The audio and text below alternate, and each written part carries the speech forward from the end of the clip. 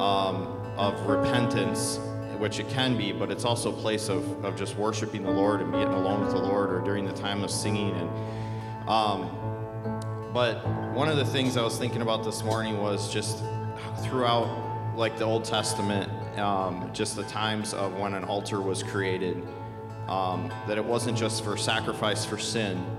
Um, so I was thinking about specifically about Noah because there's a lot of different examples.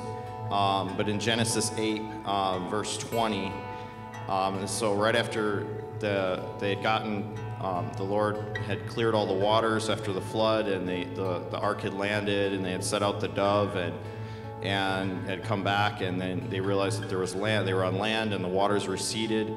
Um, in verse 20, it says, um, Then Noah built an altar to the Lord and took of every clean animal and every clean bird and offered burnt offerings on that altar. And the Lord, and this is the best part, because this is the part of like what we desire here. And I pray, like we were just praying before service, and our desire even during worship is that that not just that we're here singing songs and we're not, you know, singing it right, making it sound good, which is great, but that our our singing and our worship would be incense before the Lord, that it would be sweet to his ears, sweet to his nostrils, that he would like that he would love it and he would love to uh, you know that there would just be a communion there between us. Like you know if you picture uh, talks about in the, in the, old testament about the angels going up and down from heaven uh, with jacob. And if you just think of that like this what's happening here is like we're just in the in the presence of the lord. It's just a communion happening during this time of worship. So it says um, and after he'd offered the burnt offerings on the altar in verse 21 and the lord smelled a sweet aroma and the Lord said in his heart, I will never again curse the ground for man's sake. Although the imagination of man's heart is evil from his youth, nor will I again destroy every living thing that I have done. God's heart is for us. He loves us. And just seeing throughout the Old Testament, you know, all the things that man had to do in the physical to repent for what they had done and, and offer burnt offering. And but God's the, the new covenant is so sweet. And what God's plan was there is He was starting that, just seeing like, I'm not I have a love for you, of such a great love for you, that I won't ever wipe these people out again because I have a better plan coming. And this place and this altar is a place of not just repentance, like I was saying before, but it's a place of offering up a heart of thanksgiving. And so this morning, and I said this before, think of what the Lord's done in your life. Think of what he's saved you from, what he's brought you out of. If you, you know, maybe you lived a life that was good, or you maybe lived like before, in, you know, eyes of the world, a life that was good, or a life that was just absolute destruction, where you're, you know, it says he picked me up of a, out of a miry pit of, you know, just the disgustingness of my flesh, where maybe you're a drunk or, uh, or, or into drugs or anything, or maybe you just were a liar and a cheat or whatever, you know is whatever that, whatever the Lord brought you out of, praise Him this morning. Praise Him for what He's done in your life. Praise Him for the victories. Praise Him for the trial you're going through right now because there's victory on the other side. Praise Him that, that He loves us and He cares for us, that He died for us. Don't let the enemy get into your heart and lie to you this morning and say, I don't have anything. There's really nothing that the Lord's done for me. There's something. And that heart of thanksgiving is going to turn into a heart of worship. So I encourage you this morning come here, lay aside how you feel, and maybe, you know, just being awkward. Just come up here and worship the Lord this morning.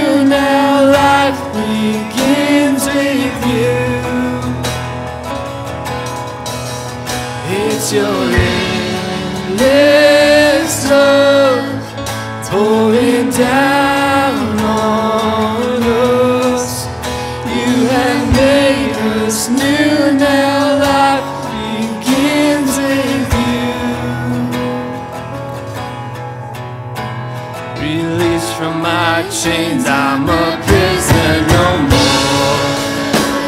My, my chain was a ransom.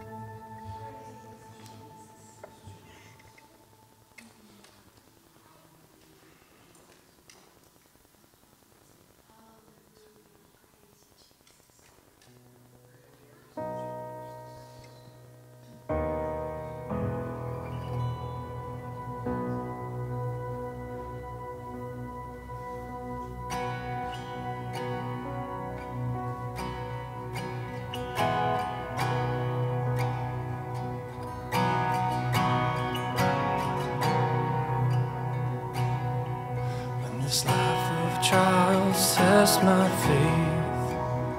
I set my hope on Jesus. And the questions come and doubts remain. I set my hope on Jesus. From the deepest wounds that time won't heal, there's a joy that runs still deep. There's a truth that's more than all I feel. I set my hope on Jesus. I set my hope on Jesus. I rock my only trust. Who set his heart?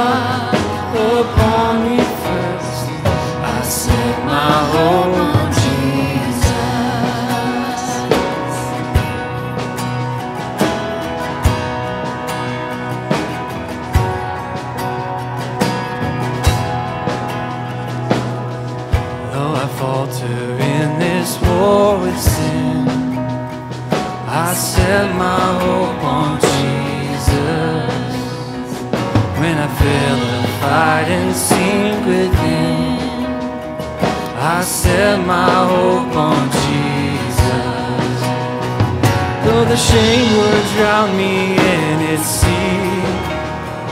And I dread the waves of justice. I will cast my life on Calvary. I set my hope on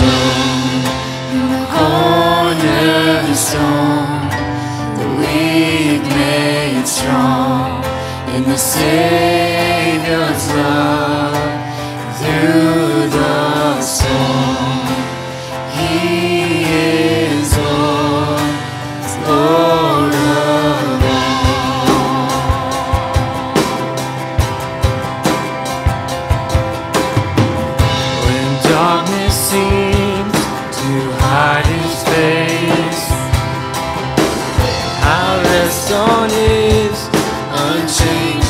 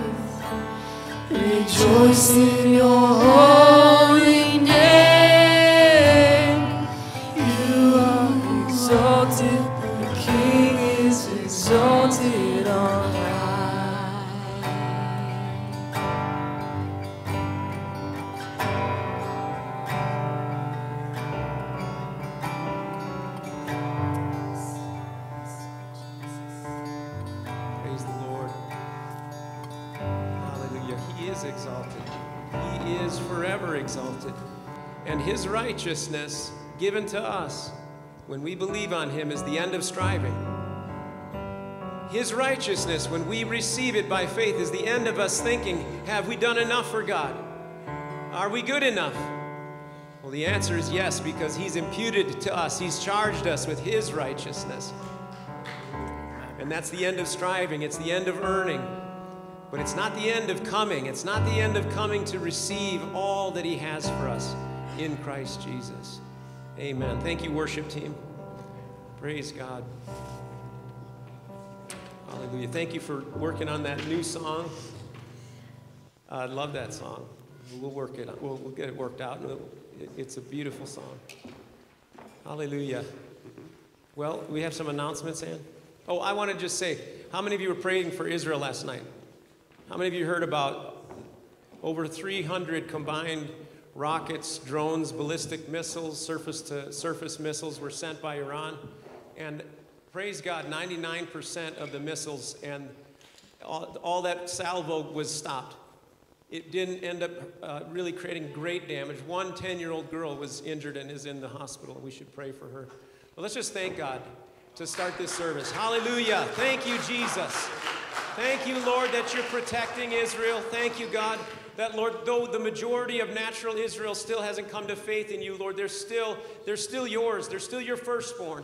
And Lord, we're asking in Jesus' name for a miracle that your spirit would grant them grace to see the Savior. Grant them a belief, Lord. Grant them taking away of the veil of blindness over their hearts, that they could see the one that they pierced and mourn for him as for an only son and come to Christ. Lord, your word promises this will happen in the last days, that you will gather the remnant of Israel to yourself, and so all Israel shall be saved.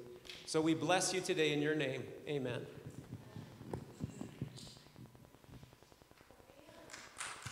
Good morning.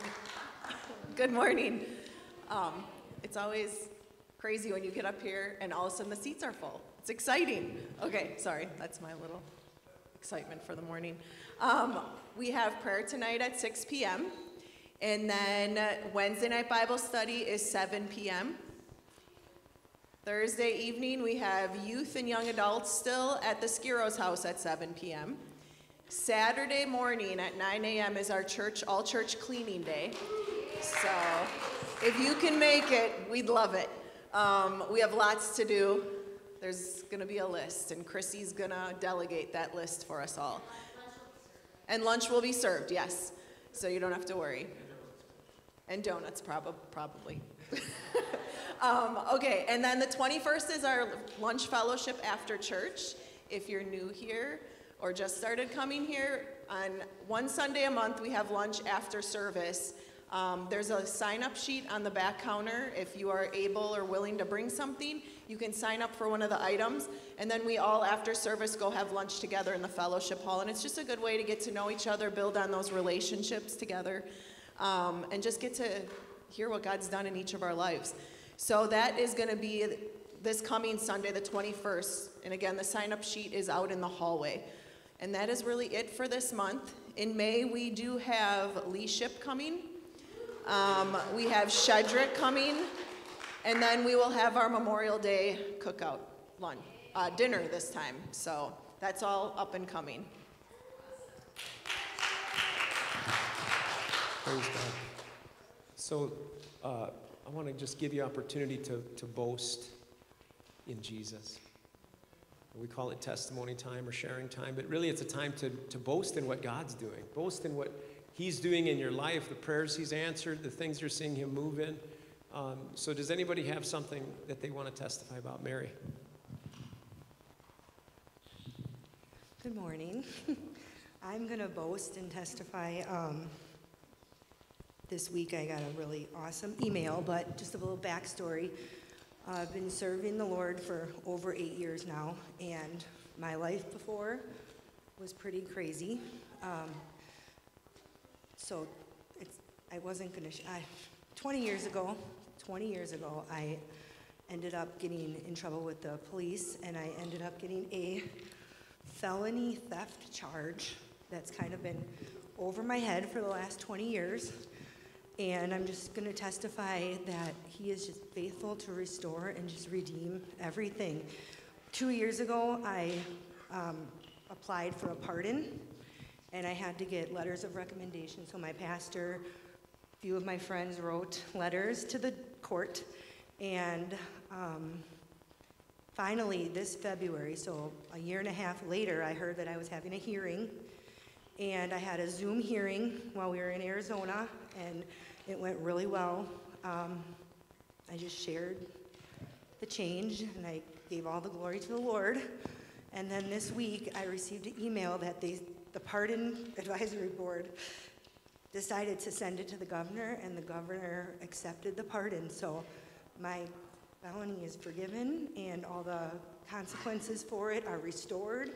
And it's just so beautiful, and it's just, I've just been thinking all week about what the Lord, what Jesus did for us. Like it's, I don't know, it's just overwhelming, but I'm just very grateful, and it's wonderful.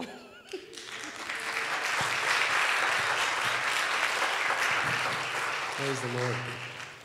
Yeah, the, the change is real. It's not just a, you know, jailhouse conversion. It's real. It's, it's lasting and it's continual.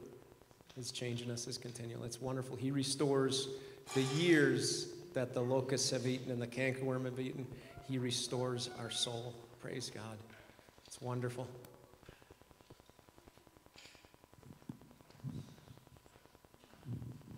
All right. Um, so on, hopefully I'm the only one, but work's been a little daunting lately and kind of came to a head on Monday. And it was just kind of trying to find what God was doing in that. And then all of a sudden, the day after on Tuesday, I had a uh, haircut with a lady I've been going to for a while now. And I had to reschedule last week because she had a COVID and everything else. And so it was just perfect that tough day at work. And then on Tuesday, she's sharing about, you know, she's going through all this litigation with her daughter's father and all this other. I mean, she's just not, doesn't have good friends that are encouraging her. So it's just like really nice to meet her where she was at. And it was like, you know, this is the life that they live. Like, of, you know, I didn't want to feel bad for myself and work because it was like, I have God, but, you know, some people don't even have that opportunity. Like, of, of course I'm getting the tall finger in traffic. Like, I mean, they don't, they don't know this love. Like, it's just, it's just a little bit crazy to me. So it was really nice to just, you know, share where she was at and try and encourage her. And, you know, and when I was at the men's retreat, Pastor Aaron was sharing about barns with the, the roofs that they have. If you let the shingles go too long, the entire thing is pretty much junk.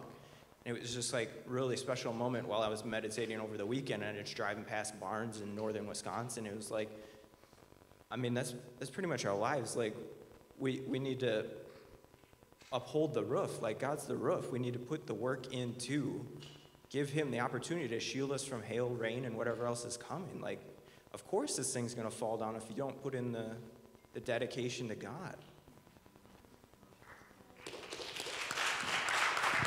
Amen. Praise the Lord. Good morning, beloved. Um, I want to share a few uh, spiritual lessons from a three-year-old. Um, so uh, we um, we went to Great Wolf Lodge um, this week, and if any of you have ever dealt with a three-year-old boy, like it's it's wonderful to to see, you know, just the innocence and and the awe of their life, but there's just this like, come on, just just walk, just get in the car, just just something, right? So we're like walking in between one part to the other part, and he is just in another world. Like he's just gone.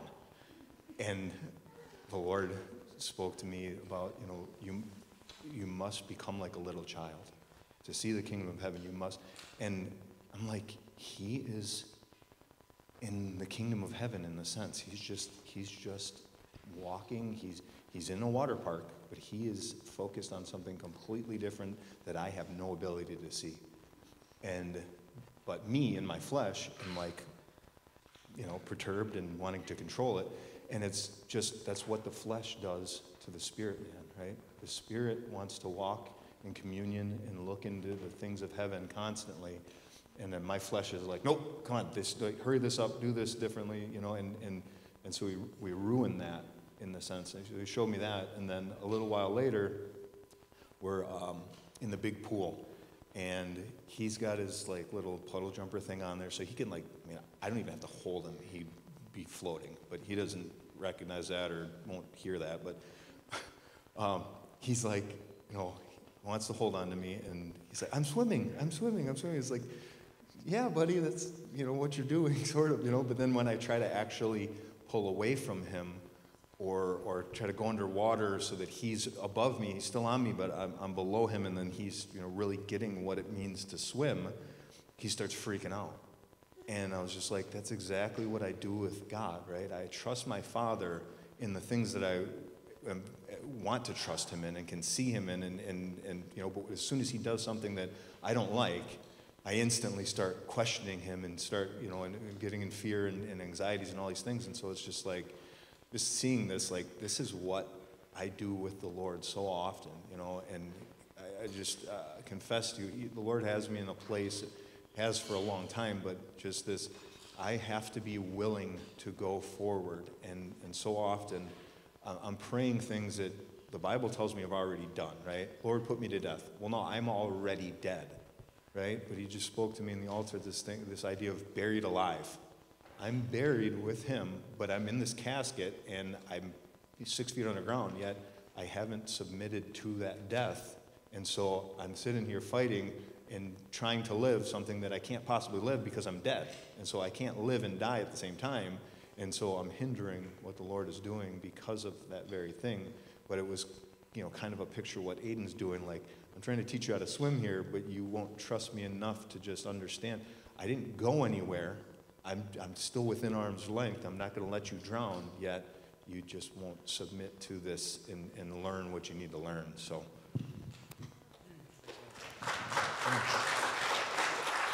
So the, the Bible says, let the little children come to me.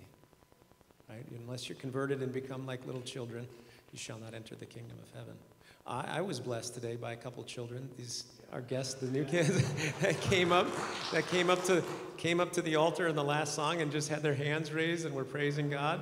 Amen. Amen. That's that's I love to see that. Hey, I want to say to the rest of the children, uh, whether you're you're 2 or you're 13 or you're 17 or whatever, you're not a child if you're 17, but children, come to the altar.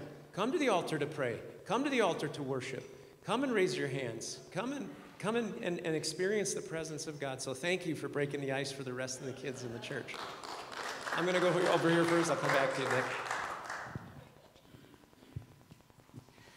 Um, I am not much for public speaking, so I'm going to do my best. Um, but I feel like God is wanting me to share this. So, um, anxiety and control is something that I've always really struggled with in my life, and I've been a Christian, I would say, my whole life. But one thing that I feel like God has really been showing me lately is what it means to really come to Him and receive rest.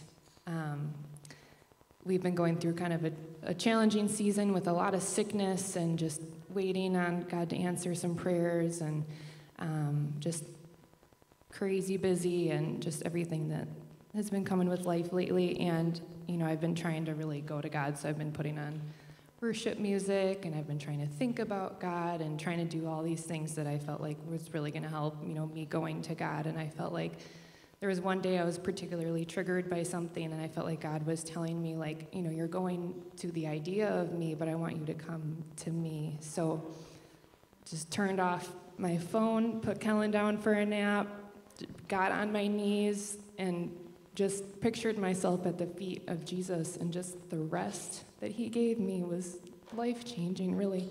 Um, just some things I've been struggling with my whole life, finally getting peace from it. Um, and I know a lot of us have heard this verse before, but it just really hit me in a new way. Matthew 11. Um, Come to me, all of you who are weary and carry heavy burdens, and I will give you rest. Take my yoke upon you. Let me teach you, because I am humble and gentle in heart, and you will find rest for your souls. For my yoke is easy to bear, and the burden I give you is light. And just how how life changing it is to come to the person of Jesus and spend time with him and let who he is as a person just fill you and change you. It's I'm just really learning it's not about really what we're doing, it's coming to him kind of like Pastor Aaron you were saying a little bit ago, just the power in that has been really, really cool.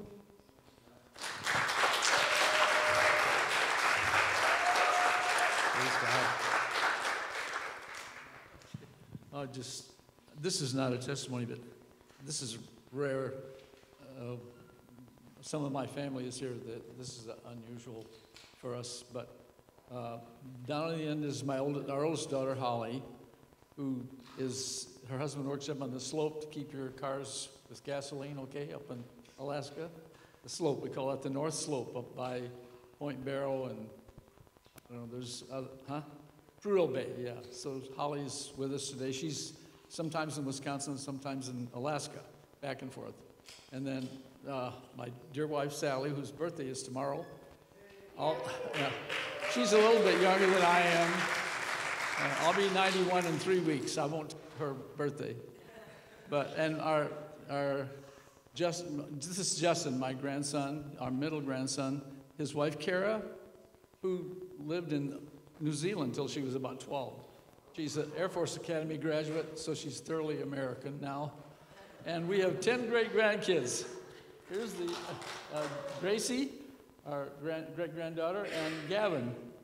So they're, they're the youngest of the, of the 10. The, the top is 14 and 15. So, and excuse us, we're going to bug out to get to have a breakfast, birthday breakfast at uh, in Delafield at, tw- at 12:30. So if, if Aaron preaches for two hours, we'll be we'll be leaving. I promise not to do that, Dick. It'll only be an hour and 45 minutes. no. it won't be that long, trust me. Hallelujah. Anyone else? Oh, we got a few others.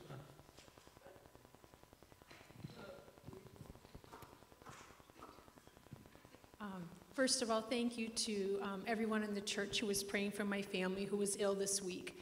Um, It was a virus unlike anything we've experienced in several years. So thank you so much for your prayers, and we're so grateful to be here. Um, A few weeks back, Amanda shared a beautiful testimony of an experience in Walmart. Today, I've got Walgreens. Um, Spent many, um, many moments this week at Walgreens in the pharmacy line. And I was in the line, it was the longest line I've ever been in at this moment.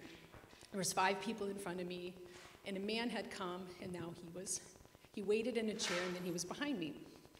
And as soon as he got behind me, we could hear conversations up in the front, the people at the cashier talking to the pharmacist. And there was, he was very different than me, culturally, um, age, etc. And the woman who was we could hear her conversation. Um, she was very different than us, culturally, everything. And he began whispering in my ear, because I was obviously his audience, according to him, um, very derogatory comments about her. Her conversation, what she was talking about, her ethnicity, where she, he assumed she was potentially from in the world. And it was ongoing, just, it was really um, grotesque. And I just said a prayer to the Lord. I said, Lord, help me to not let it end this way. I just took a breath. I have to face him. So I just turned to him and I said, How is your day going today? And he started talking about the traffic. And then he explained why he was there. He was getting a prescription for an upcoming surgery on his teeth. And he talked really fast, so a lot happened in a few minutes. But as he talked about his teeth and the situation and this long term situation, he just was unveiling all these things about himself and emotionally. I said, Okay, can I pray for you? Can I pray for your surgery? And his expression and his demeanor, he just like he he just took a breath and he like I saw his body like move back and then he said, No, it's good. No, no, no, no, I have prayed about this. The surgery's gonna be fine. I said, That's awesome, but but can I pray for you? He said, You know, I really appreciate it. It's okay. I, God's got this. I'm going to be just fine. I said, Okay, I just wanted you to know that I wanted to pray for you. And then it was my, the line had moved up and it was my turn to get in line. So I did my business. I turned around. He was still in line. And I looked at him and I said, Have a great day. And he said, God bless you. That's how it ended. That was my prayer. Lord, let this end differently. Let it not end in these grotesque comments that I'm hearing about this woman. It ended with the name of Jesus. And it was such a very simple act. And of course, we never boast in ourselves, it's what God did. It's such a small act. And I'm just so grateful that it ended in the name of Jesus.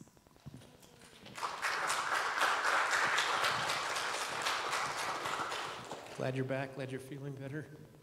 A lot of nasty things going around. I got something pretty cool to share. So, a couple months ago, I met this kid at the gym. Uh, he's a senior in high school, and we kind of connected right away because we share some of the same interests. He wants to play college soccer. Uh, he's really into health, nutrition, and fitness, which is all I'm about.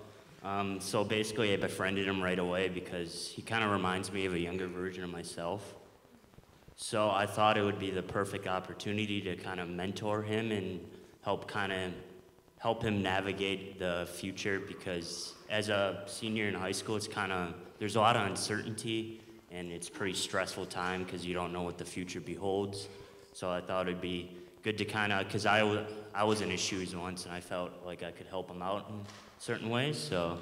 Um, I started planting some seeds about my faith here and there. I got him a copy of God's Word, and um, I actually also got him a part time job uh, where I work, and he went on a spring break trip um, backpacking in um, North Carolina.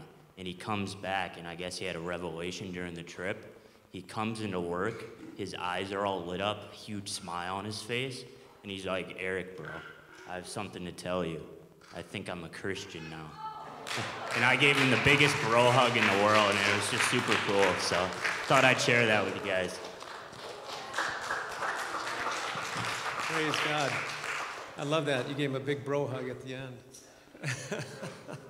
You know, this is what the gospel, this is what Christianity is about. We don't keep it to ourselves. We look for opportunities to share it and to love people and to, to bring them to the same glorious Savior that we know. Praise God. Hallelujah. Well, um, we're going to take the offering. So, uh, Josh, could you come up here? Okay, I know Al is, is late, he had to work. You guys can distribute, I'll pray. This is your first time and this is not your home church, please don't feel any obligation to give.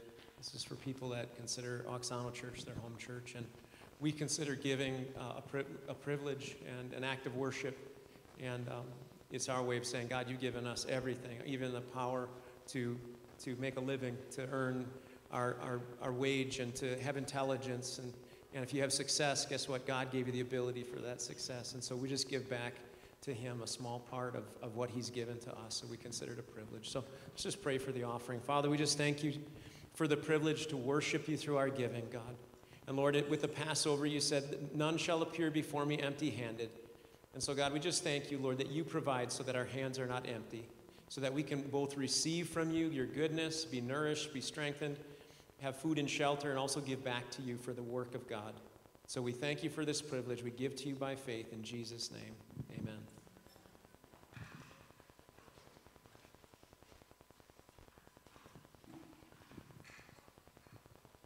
I'd also ask uh, ushers to come forward for communion. It's Communion Sunday with Evan and some of the men, Gabe, Dan. We need one more man. Eric. Eric, you want to come up? So we're going to hand out the elements. Just wait a second, guys. We're going to hand out the elements, and if you just all hold the elements until we're all served, we'll take, we'll partake together. So, Lord, we just thank you for the privilege. We just ask you to help us prepare our hearts to, Lord, not just go through the motions, Lord, of, of, of something that you've called the church to do in perpetuity, to remember your death, to remember what you suffered for us. But Lord, that we would do it with reverence and, and with a revelation of your spirit of what, of what you went through for us, of the love you poured out to forgive us, to, to claim us, to redeem us back to God. In Jesus' name, amen. So if you go ahead and hand out the elements, guys. When everybody is served, then we will uh, read a little scripture and pray together and, and partake of the elements.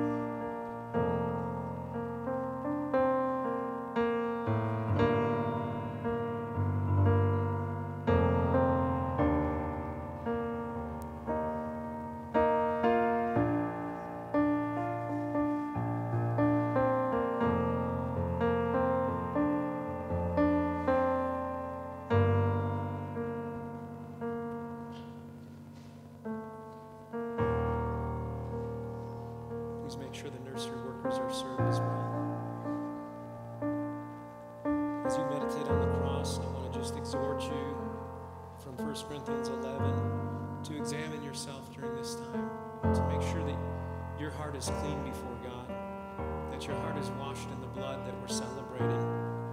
It says, Therefore, whoever eats this bread or drinks this cup of the Lord in an unworthy manner will be guilty of the body and the blood of the Lord. And that's not the intention of the Lord's Supper. The intention of the Lord's Supper is to celebrate his death and resurrection, celebrate our forgiveness through Christ. Says, But let a man examine himself, and so let him eat of the bread and drink of the cup. So God's not saying, I don't want you to participate. He's saying, I want you to participate, but I want you to make sure that your heart is right before me. Because we're celebrating the most awesome, reverent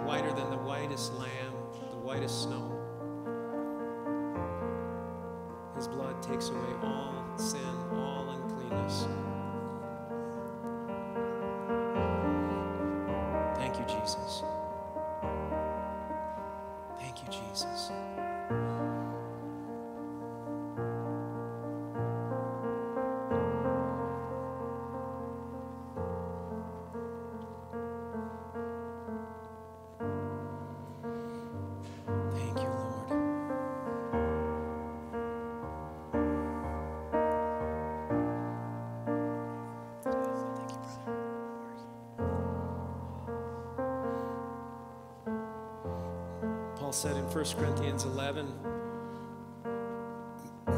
23, it says, For I received from the Lord that which I also delivered to you,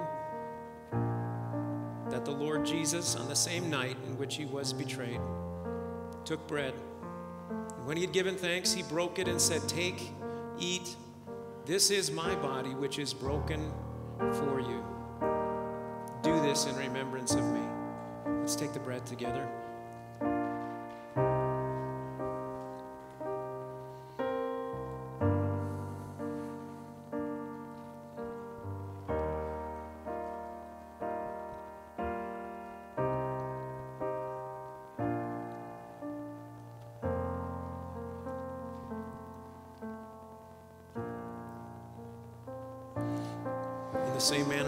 Took the cup after supper, saying, This cup is the new covenant in my blood.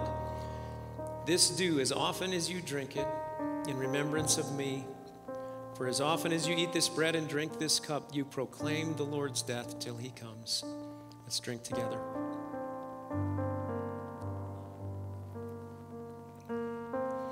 Lord, we thank you for your body that was broken for us to redeem us and to make us one body, one bread in Christ. We thank you for your blood that was shed for us to wash us and to make us clean and to take away the guilt of our sins so we can serve you without fear all the days of our life. We celebrate you, we, we proclaim your death until you come in Jesus' name. Amen. Praise God. Give me water. Give me water. Hallelujah. Children are dismissed into nursery if they haven't already gone. You can keep them in in service if you'd like to. We do have a nursery.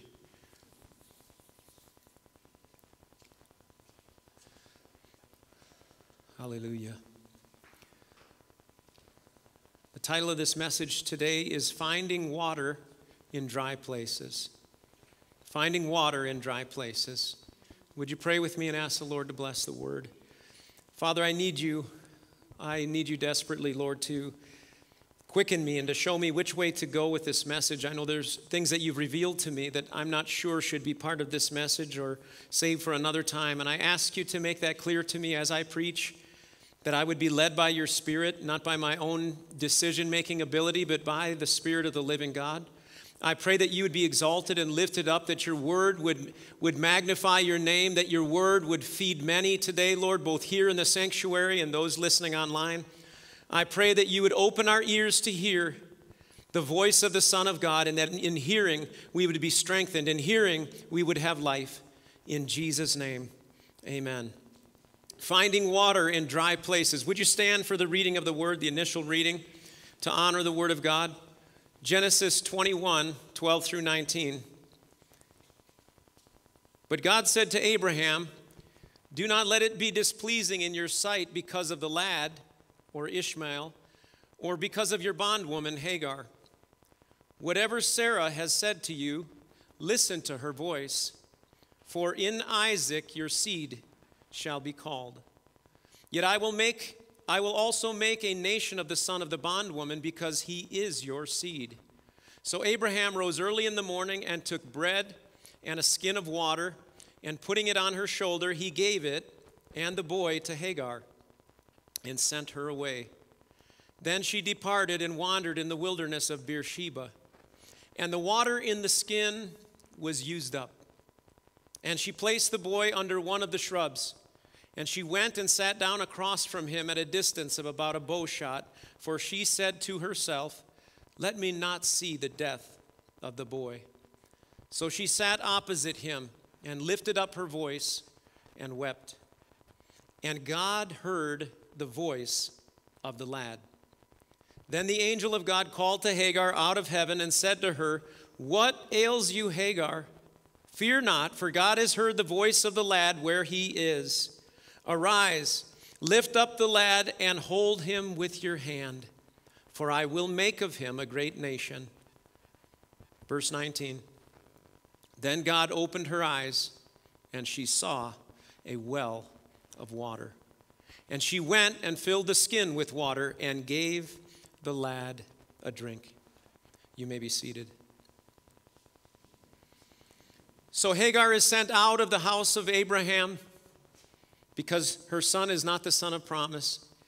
And she's only given a piece of bread and a, and a skin of water that's put on her shoulder. Who knows how much water that could hold? Maybe a gallon. And she goes into the wilderness, and the water runs out. And she realizes there's no water around. And she comes to the conclusion that in this dryness, in this desperate place, that she and her son are going to die. And so she sets Ishmael off a distance, a bow shot away under a bush, and she sits away from him, facing the other way, saying, I can't bear to see the death of my son. And she lifts up her voice and she weeps. And then she hears the voice of God speak to her from heaven and says, What, What's going on, Hagar? Why are you crying? I've heard the voice of the boy. I heard the boy, the voice of a praying child. And I'm going to make of him a great nation. Don't lose heart, Hagar. You're not abandoned in this dry place. You're not forgotten in this place where it looks like everything is lost. And it says in verse 19 Then God opened her eyes, and she saw a well of water. Praise God. In our times of dryness and crisis, there is always a well of water in close proximity. We just need God to open our eyes to see it. Do you see that? The well was there. The well wasn't magically made there, it was there, but she didn't know it was there until God opened her eyes to see it. Hagar was crying in despair, and God saw her. But it was the prayer of her son that caused God to open her eyes to see the hidden provision. Prayer opens your eyes to see the well of water. Prayer opens your eyes to see the need that you, the, the, the, supply of the need, the provision of the need. And here it was a well. God leads us into dry seasons in the wilderness to cause us to cry out for the living water. It may seem like we're in a barren place with the water so far away and so far out of reach. She, she may have thought there's not water for 10 miles. It may seem like God has abandoned us to a dry place. We feel discouraged, but God says, cry out, pray, and look around. I'm not far from you. The well of Christ follows us as believers wherever we go. Water is near. Cry out in faith and find the saving, refreshing water of Jesus Christ. If you're not born again, Jesus said, If anyone's thirsty, let him come to me and drink. Let him come to me. I'm a well of living water. He'll find a well that will satisfy him, that he'll never thirst. Is he saying you'll never get thirsty? You'll say, No, you'll never be far from the well that if you, when you cry, when you look for it, the water is there. I'm there to satisfy you. I'm there to give you life. John 7, 37 and 38 says, On the last day, the great day of the feast, Jesus stood and cried out, If anyone thirsts, let him come to me and drink.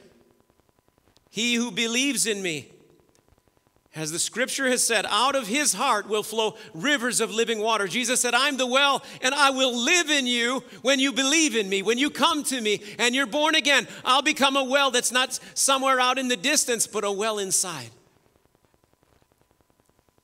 that will flow out like rivers of living water. Genesis 21 20. So God was with the lad or with Ishmael and he grew and he dwelled in the wilderness and became an archer. I love it. it I, in, in, earlier in the verse, it says that she, he told Hagar, he said, Go to the lad and lift him up. Go to the lad, lift him up, hold him with your hand, and I will make him a great nation. That's your job as parents. That's my job as a parent. It's to go to our children to lift them up and to guide them in the right way. That's all she had to do is guide him in the right way and then pray, trust him into God's hands. And, and Ishmael became a great nation. Listen, God was with Ishmael even though he represented the natural seed of Abraham. He was cast out of Abraham's house because he wasn't the son of the promise. But if God was with the son who was cast out, how much more will he be with us, the children of promise? Exodus 15 22. So Moses brought Israel from the Red Sea, and they went out into the wilderness of Shur. And they went three days in the wilderness and found no water. This was right after coming off their great victory of their deliverance from the Egyptians through the Red Sea. Often we come down from our mountaintop experiences only to enter right into a test. Did you ever experience that? It's like, I just had this great time with God. I was just praising Him, and now I'm in this massive struggle and trial and test. That's what they experienced. They went three days, and then they found no water. Don't be surprised to come from abundant waters, like the waters of the Red Sea, into dryness. They went from a sea of water into a dry wilderness. Look at verse 23. Now, when they came to Marah, so they're traveling. They know they're thirsty and they see water in the distance. And they come to Marah, which means bitter. They come to Marah, and they're all excited. Oh, there's water. Thank God. We're not going to die of thirst. It says, when they came to Marah, they could not drink the waters of Marah, for they were bitter. Therefore, the, the name of it was called Marah. Imagine seeing that water in the distance, coming to it with, e- with eagerness, with excitement, then putting the water to your mouth, and it's bitter, and you go, Pfft.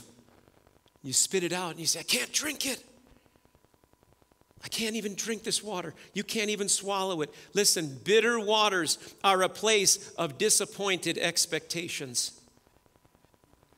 We hope for the blessing of clean water to quench our thirst, but we find it bitter.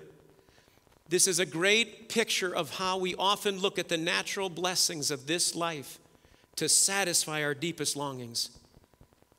It's the young man who thinks, if I can only find the blessing of a wife, my loneliness will be satisfied.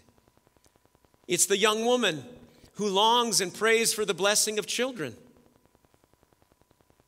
It's the young person who says, I'm going to work hard. I'm going to I got I'm going to climb the ladder. I'm going to get that promotion. If only I can get that raise, if only I can get this opportunity, I'll be satisfied. Listen, water is good. Marriage is good. Children are good. Getting a promotion is good. None of these things are, are evil, they're gifts from God.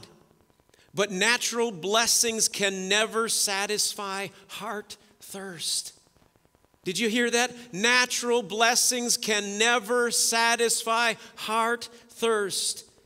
Our hearts long for what really satisfies, and only things touched by heaven quench our thirst. Only things with the touch of God, with His presence, quench our thirst. Natural things without the blessing of Christ eventually leave us empty and disappointed. They leave a bitter taste in our mouth. This is where believers can stumble into complaining that God's provisions don't meet our needs. Verse 24 says, And the people complained against Moses, and they said, What shall we drink? We came to this water, and it's bitter. The people quickly gave up on the bitter water and they asked for something else to satisfy their thirst. They had hope. They had no hope that the water could change from bitter to drinkable. And that's what Christians do with a shallow understanding of Christ, with an immature perspective. They, they, they experience some natural blessing and they say, ah, This doesn't satisfy me. In fact, it's turned bitter. I'm going to look for something else to fill me, something else to satisfy me. I'm, I'm done with that. I'm, I'm moving on from that. I'm abandoning that. They were abandoning the bitter waters. They said, This is undrinkable. And we can understand that. But look what it says, verse 25. And so Moses cried out to the Lord. And the Lord showed him a tree. When he cast it into the waters, the waters were made sweet. There he made a statute and an ordinance for them. Excuse me. And there he tested them. Moses wisely called out to God whenever he didn't know what to do. This is a great picture of good leadership, good spiritual leadership. Leaders are not called to have all the answers, but to, to, to know where to find them. I don't have all the answers. In fact, I have almost none, but I know where to find them. I know how to get on my knees before God and say, God, I don't know what to do. I don't know how to lead these people. I don't know what they need on Sunday or Wednesday, but Lord, I know you do. So I'm coming to you. My eyes are on you. And guess what? He's a God that never fails the humble. He's a God that always hears the one that comes to him in lowliness and just says, God, I need you. That's what Moses did. Praise God. Praise the Lord. So it says the Lord showed him a tree. Do you, do you see the tree? Do you see the picture? Do you see the New Testament picture? The Lord showed him a tree. Do you see what Moses saw? This is a beautiful picture of the cross. It's a beautiful picture of the cross. The tree that Moses put in the water represents the cross. It looks forward to what Christ would do at Calvary for his people to turn the bitter waters sweet, to take that which is undrinkable and to make it pure and sweet and lovely and nourishing. Glory to God. When he cast it into the waters, the waters were made sweet. The answer to all our bitter waters is Jesus' cross. What is the hope for your bitter marriage? The cross, Jesus' work at the cross. We want to move on. We say, oh, this was sweet, a little sweet in the beginning, but now it's turned bitter. I want to move on. Where do we look? God, give me something else. Give me a better marriage. Give me a better relationship. He says, no, I'll turn the bitter things sweet. You apply the cross to it. Hallelujah. Stop looking for a different drink to satisfy your thirst and see the cross. But Moses didn't just see the tree, he grabbed and picked up the tree. He embraced the tree and then he cast it into the bitter place, into the bitter waters. It's not enough to see that the answer's in the cross. It's not enough to agree theologically that the cross is the answer. You must embrace the cross. You must touch the cross and you must apply the cross to your life and to whatever is bitter in your life. Hallelujah. Some of you might be saying, Amen, and Aaron uh, my marriage, it, it is bitter, and my spouse needs to see and to embrace the cross. This is exactly what they need. In fact, they're not here, and I'm going to send them a, a copy of this message. Praise God. They need to die to their pride and they need to see how they've hurt me and how they've made my life bitter. I'm so glad you're preaching this, Aaron. No, my friend. God is looking for you to see your need for the cross, to be embraced by you for your bitter heart to be made sweet by the cross. God always starts with you, He starts with me. Pointing the finger at others is always condemned by God. Pointing the finger at others and blaming others keeps the water bitter. Yeah, you can think it's never going to change. Well, it's not until you humble yourself, until you embrace the cross. That's when the cross releases its power, when it's embraced when it touches the bitter things of our lives. 1 Kings 8, Solomon said this. He said, when, when everything is catastrophic, when there's famine, when there's pestilence, when there's mildew and locusts and grasshoppers, when the enemy's in the gates and, and, and, and there's plague and there's sickness. He says, verse 38, wherever, whatever prayer, whatever supplication is made by anyone or by all your people, Israel. Listen, when each one or each person knows the plague of their own heart, of his own heart, and spreads out his hands toward this temple, then hear in heaven your dwelling place and forgive and act and give to everyone according to all his ways, whose heart you know, for you alone know the hearts of all the sons of men. Solomon said, When everyone knows the plague of his own heart, not the plague of their spouse's heart, or their son, or their daughter, their parent, their father, their co worker, their boss, not the plague of their heart, the plague of their own heart. And they spread out their hands and they begin to pray. Then I'm going to hear. God says, Solomon says, then you're going to hear in heaven, you're going to forgive, you're going to act. There's going to be power, there's going to be change. Jesus said, if you see a fault in your brother, first get the plank out of your own eye, like the log, right? Get the log out of your own eye so you can see clearly to take the speck out of your brother's eye. It's not that there might not be something wrong in your brother, your sister, your spouse, but there's probably something much bigger in your own eye that you've got to deal with first in order to help your brother, your sister, your spouse. The honesty and humility of seeing our own faults and admitting them to others does more to soften hearts than any argument justifying our own actions ever could. We want to argue, we want to, do, my position's right, I'm right. I, let's, let's humble ourselves. That's where there's power. Second Chronicles 7:14 is famous passage. I'm sure it was prayed at many capitals yesterday when people gathered to pray.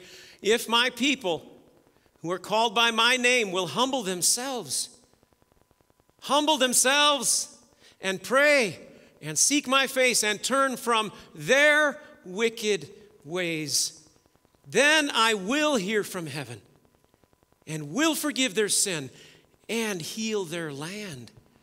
Now my eyes will be open and my ears attentive to prayer made in this place. Listen, we have prayer night, prayer meeting uh, at six o'clock on Sundays. We want God's ears to be open to our prayers. We don't want to come here just to hear each other pray, pray prayers. I mean, that's boring. I want to come and believe a God that actually hears our prayers and acts. And he says, I'm that God. That's who I am. But there's conditions. You got to see the plank in your own eye. You've got to humble yourself.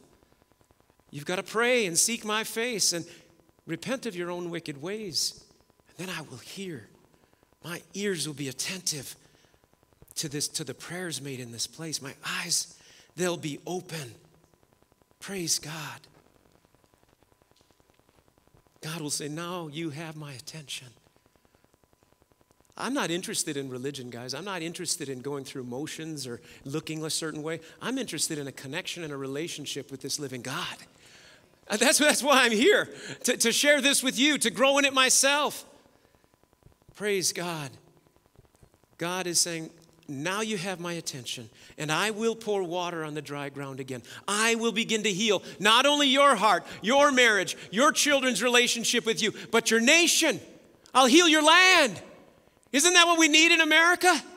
That's where it starts. It starts in the individual, and it goes into the family, and it goes into the church, and then it spreads to the land. That's God's desire. I want to I want to I want to stay here at the bitter waters turning sweet a little bit longer. Because it's not just bitter marriages that the cross heals, it's every form of bitterness in the human heart. It's everything that, that is contaminated in the human soul by the fall. You see, the cross came, Jesus came to take those contaminants out and to make our water pure, to make us drinkable, that's what Jesus came to do. When Jesus came, he took the sins of the world upon himself. When Moses put that, that tree in the waters, that tree absorbed the source of the contamination. Whatever was polluting the water was soaked up into the log or the tree, and now the, the waters were healed. That's what the cross does. It's not just forgiving our sins, it's changing our nature.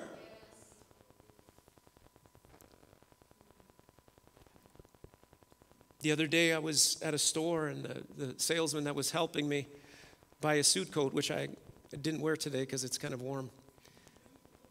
But as the man's talking to me, he, he just kind of opens up with me, and he, he I somehow came to about that. I told him I was a pastor because he asked what I did or what I was wearing the suit coat for.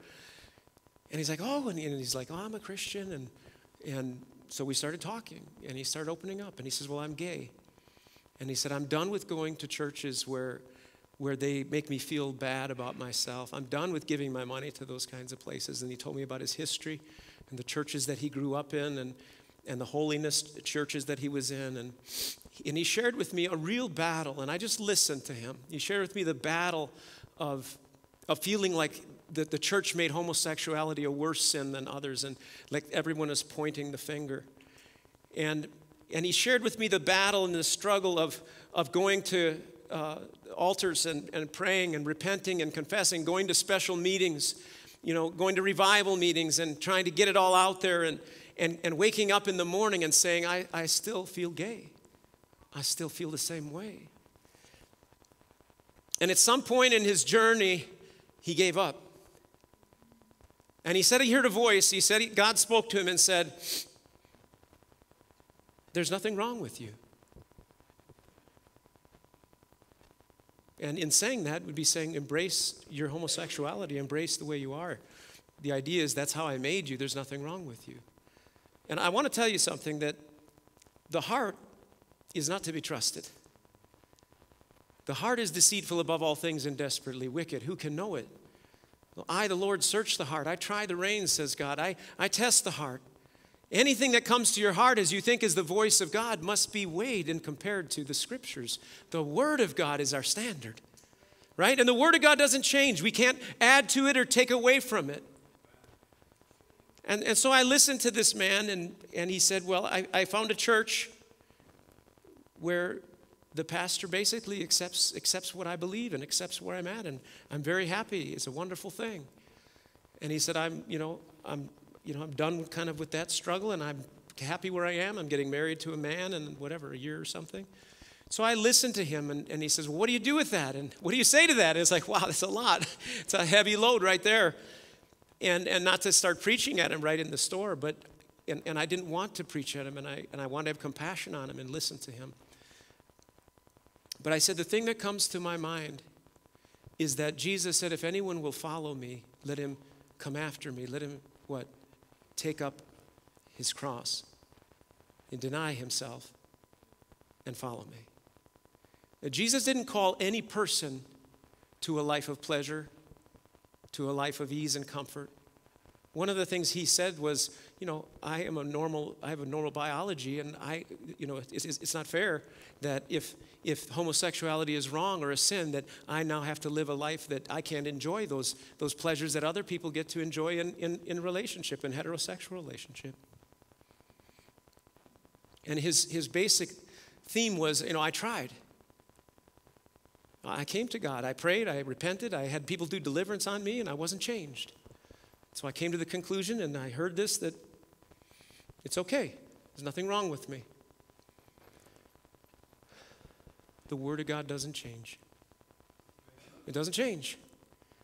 There isn't a cultural, you know, he said, well, the culture's changed, and, and maybe there's, you know, it's context. And I just was like, I'm going to refresh myself in this. I wasn't changed by what he said, but I'm going to refresh myself on this. Just went back to the Word of God and looked up the Greek, looked up the Hebrew, and it's not contextual, it's clear that a man to lie with a man or a woman to lie with a woman is abomination to God. Well, but Jesus didn't say anything about homosexuality. Well, he did say something about marriage. A man shall leave his father and his mother and be joined to his wife. Marriage is a man and a woman. So he did address it, and Paul addressed it, and he made it very clear. Made it very clear. And the, and the idea is well, in Leviticus, in Leviticus, I've heard this, he didn't say this, but I've heard this. You know, it talks about the Jews not eating shellfish. One of the laws was they couldn't eat shellfish, and then the next verse is talking about forbidding homosexuality.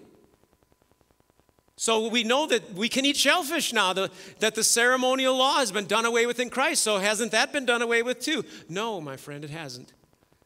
The Bible says we're to rightly divide the word of truth. To be able to understand when the scripture is saying one thing here and this something here doesn't apply anymore because it's ceremonial law, but God's moral law does stand. Back up to Leviticus 18. Read it yourself today. It's an excellent passage. God declares why he wiped out seven nations in the land of Canaan. People also say, with God is love, why did he wipe out seven nations? Men, women, and children. Kill them all. Why would God do that? Read Leviticus 18. He says, You shall not practice the practices of the people of the land. This is what they did. And he goes through a list of their sins. And he said, Because of this, I cast them out. And you know, within that list are sins that are not listed in the New Testament. They're not in the New Testament. The details are not in the New Testament. But he lists sexual sins and he says, These are sins that you shall not do. These are the practices of the people. I'm going to give you some of them. Sleeping with your father's wife, or not your mother, but your stepmom. Is that in the New Testament? It's not. Is that still forbidden? Yes, it is. Sleeping with your any relative, your aunt, your daughter-in-law, your son-in-law, uh, your, your grandchildren, uh, pedophilia, all that stuff is laid out. Laid out in Leviticus 18.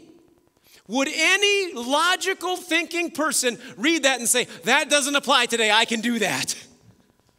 Of course you wouldn't. That reveals the heart of God. It reveals what's in God's heart, his eternal law, his moral law. It says, do not do these things. It's an abomination. Don't sleep with your neighbor's wife. It's an abomination. Or it's, it's uncleanness. Don't lie with a man as a, as a man lies with a woman. It's an abomination. God's heart hasn't changed. You understand that? Now, most of those passages had to do with heterosexual sin. The church should be very careful that we're not doing this to the homosexual, but we're doing this to the homosexual. That we're inviting them to the same cross that we find victory in. Do you understand that? We're inviting them to the same place where not only our sins are forgiven, but the, the nature is changed. Now, I want to say this. I believe that God's Spirit changes the nature. He gives us a new nature. But I also believe we have an old nature that we wrestle against. Do you understand that? It's been crucified, it's been mortified, and Paul says, Mortify therefore the deeds of your flesh. Put them to death so they don't reign over you. Even though you're born again, you're crucified with Christ, you're raised with Christ, Christ is in you, and you're in Him. You need to take those old things to the cross. You need to take that old bitter stuff to the cross.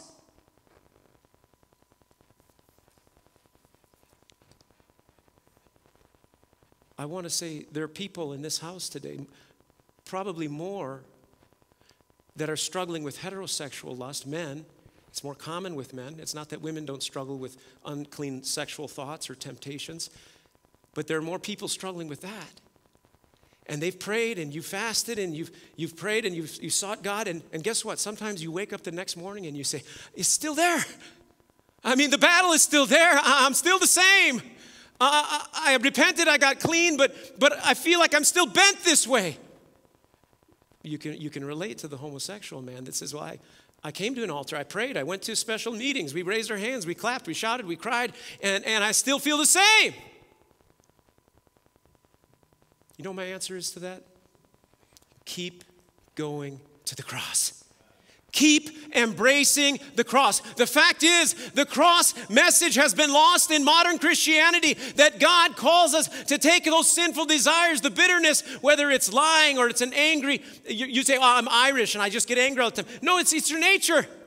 It's just sin. You just got to take it to the cross. It's, it's bitter waters that need to be healed and made sweet. And God can do it whether it's anger or it's lust or it's pride or it's depression, take believe that when you bring these things and you apply the cross to them, there's freedom. There's victory at the cross. Hallelujah. Yes, praise God. There's victory at the cross. I've experienced it. I've experienced feeling bound to lust in my heart, and I've experienced my victory was not in trying harder, it wasn't in beating myself down, it was looking to the cross of Jesus Christ. It was the grace of God applied to me through that cross. It made the bitter waters sweet. Praise God. But you know what? If I wake up tomorrow and, I, and my body and my flesh say, Oh, there's a beautiful woman, you should lust after her, I have to make a choice to still take that thought captive, to make it obedient to Christ and take it back to the cross. And I'm telling you, my friends, when I do that, I find victory every time. I find victory every time in Jesus. So I would say to that man, the answer is in the cross. The answer, if you have to live the rest of your life celibate, if you have to live the rest of your life taking homosexual desires captive to make them obedient to Christ, do it. Jesus Christ is worth it. Do it. Do it. Do I believe personally that the Lord Jesus Christ, through the victory of his cross, will be applied to a person who does that and change the desires? I do. I do believe that. But I think about the three Hebrew children, Shadrach, Meshach, and Abednego, when they stood before Nebuchadnezzar and he said, Bow down to this 90 foot golden statue that I have made for myself. At the sound of the music, bow down to it. And when he found out that Shadrach, Meshach, and Abednego would not bow down, he was furious. And he came to them and he said, Look, I'm giving you an opportunity. Is it true that you haven't bowed down? Is it true that you haven't bowed down to my idol, my false system? This is easy. You could, you, he didn't say this, but you could bow down to this idol and still bow down to your God. It's not how it works in God's kingdom. We serve one God. We don't bow down to other gods. We don't bow down to our lusts. We don't bow down to our sensual or worldly desires. We bow down to Christ alone. And what did the men say? They said, O king, we're not careful to answer you in this matter. Our God is able to deliver us from this fire. Our God is able to deliver us. But even if He doesn't, we will not bow down to your God. My friend, if you have to battle some temptation, something in your flesh, the rest of your life, be like Shadrach, Meshach, and Abednego and say, if God is able to deliver me, God is able to make bitter water straight. God is able to make crooked things straight. God is able. But if He doesn't, if I have to fight this thing until I see Him in glory, I will not bow down to this God. I will not turn back to the ways of this world. I will not find a preacher to tell me what I want to hear. But I will serve this living, risen Christ because there is power in the cross. Glory to God. Hallelujah. So I want to close with just a couple verses. Galatians 5 18 through 23. It says, But if you are led by the Spirit, you're not under the law. How do we get victory over those crooked things, those bents, the sins that seem so stubborn?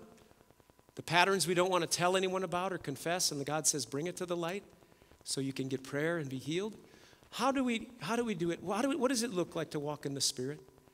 It's simple trust in Christ. It's trust in His work, trust in His Spirit, trust in Him to give us victory through the cross. If you're led by the Spirit, you're not under the law. Now, the works of the flesh are evident sexual immorality, impurity, sensuality idolatry, sorcery, enmity, strife, jealousy, fits of anger, rivalries, dissensions, divisions, envy, drunkenness, orgies, and things like these. I warn you, as I warned you before, that those who do or practice such things will not inherit the kingdom of God. Those that embrace those sins and say, oh, this is just the way I am, there's nothing wrong with me, they will not inherit the kingdom of God. Verse 22 But the fruit of the Spirit is love, joy, peace, patience, kindness, goodness, faithfulness, gentleness, self control. Against such there is no law. Listen to 24. And those who belong to Christ Jesus have crucified the flesh with its passions and desires. Glory to God. Those that belong to Jesus Christ have crucified the flesh with its passions and desires. And I would say they continue to mortify the deeds of the flesh. That's what it says in Colossians. Put to death the things that pop up in you. Put to death those things that are not like Christ. Put those things to death so that Christ can rise in you. Verse Romans 6, 8, 16 to 18 says, Do you not know that to whom you present yourselves servants to obey, you are that one, slaves or servants whom you obey, whether of sin leading to death or, or of obedience leading to righteousness. But God be thanked, though you were the slaves or servants of sin, yet you obeyed from the heart that form of doctrine which, to which you were delivered. You obeyed that truth that says the cross is the answer. Jesus' victory is your answer. Not you, not the law, not trying harder, the cross. You obeyed it from the heart. Look at verse 18. And having been set free from sin, you became what? Servants of righteousness. The cross still changes lives. The cross still heals bitter waters and makes them sweet. Glory to God. Let's pray. Uh, worship leader, if you come up.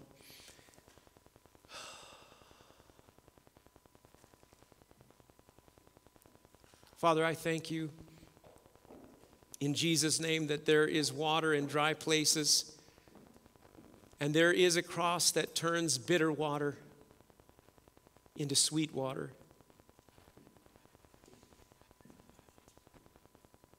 Lord, I thank you that we are not left to be a defeated people.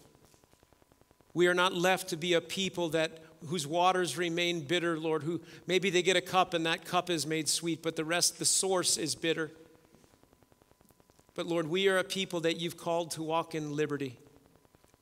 We are a people you've called to walk in freedom. You came to break the chains of iniquity and to set the captives free. And Lord, I want to pray for us as a church that we would believe you. I pray that us as a church that we would not say, This is how I am. I've always been this way. I've prayed. I haven't gotten victory. Lord, we need to bring these things to the cross and the cross to them. Paul said in Galatians 2:20, I am crucified with Christ. Nevertheless I live, yet not I, but Christ lives in me. There is a new life in us, and that is the life of Jesus Christ. The life I now live, I live by faith in the Son of God who loved me and gave himself for me. God, I thank you that you're not speaking to your people in condemnation. You're not speaking to us to, to, to rub our face in where we're still struggling, but you're speaking hope to us, God.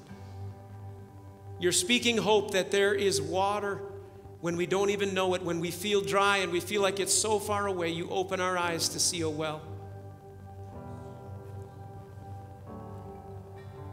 And Lord, when you lead us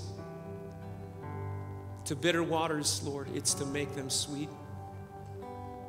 I pray for marriages today, Lord, where people have not made progress, Lord, where, the, where they have just said, I want to give up on this marriage. I want to walk away from this marriage. It's bitter. I, I don't love this person anymore.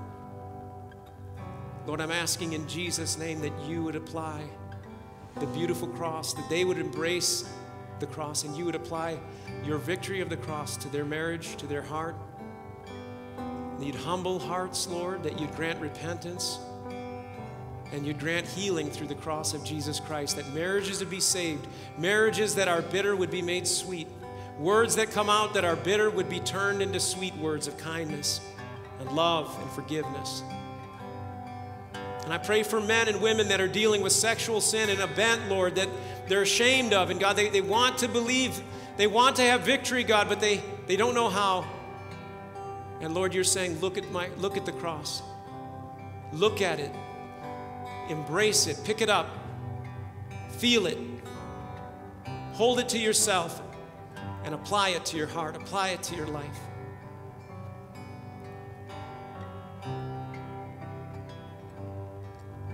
Hallelujah. I want to open this altar for any that want to come and pray over anything the Holy Spirit was speaking to you about. The purpose of an altar is not because there's something magical that happens here, it's a place to do business with God. It's just a place to pray. It's a place to get a hold of God. It's the woman reaching out to Jesus for her, his garment, saying, I got to touch him. I just got to touch him. So, would you, would you rise to your feet and come to this altar if Jesus has spoken to you and you just want to, you just want to believe him again, to make bitter things in your heart sweet? You want to believe him again that you're not going to stay where you're at. You're not going to stay in dryness. You're not going to stay in bitterness but that Jesus' cross is the answer. His work at Calvary is still the answer. Hallelujah. Thank you, Jesus. Thank you, Jesus. Thank you, Lord. Thank you, Lord. Praise you, Jesus.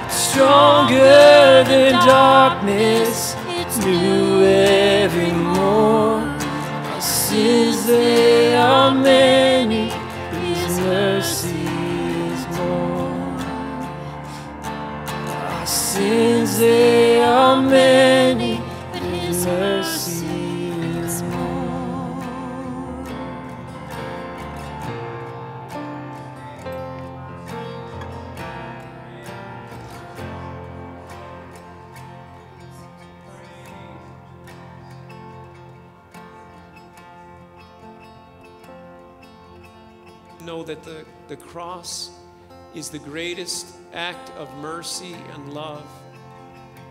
And it is when you look to the cross, you should feel no condemnation. That is the Savior's love for you. That was his sacrifice to not only forgive your sins, but to give you victory and deliverance from everything that held you captive. And in the midst of your struggle, just keep looking to the cross. Failure comes when you look to yourself and you think, I got to do it. I got to change myself. You're going back to the law. We're not under the law, but under grace. We are under grace, and it's by the Spirit that we walk with Him. It's by the Spirit that we have victory. And the moment we confess our failures to Him, we are washed white as snow. We are not in probation, we are received. Thank you, Lord, for your mercy. Thank you for your mercy, God. Praise you, God. Help us, Lord, to humble ourselves, but Lord, not to stay in a state of dejection, not to stay in a state of sorrow, but Lord, to rise to a place of praise, to rise to a place of worship, because Lord, your word says the joy of the Lord is our strength. So, Lord, we just thank you today that you're not looking on us with condemnation, but with love and with cleansing. Thank you, Jesus. Thank you, Jesus. My hope is built on nothing less than Jesus' blood and righteousness. I dare not trust the sweetest frame, but only trust in Jesus' name.